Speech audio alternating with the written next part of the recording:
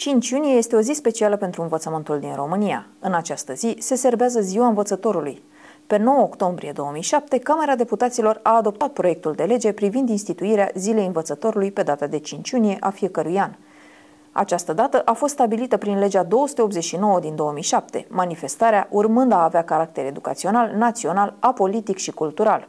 Ziua de 5 iunie poartă semnificația zilei de naștere a dascălului Gheorghe Lazar, întemeietorul învățământului modern românesc. Anul acesta, din cauza pandemiei de COVID-19, acțiunile organizate cu acest prilej au fost anulate.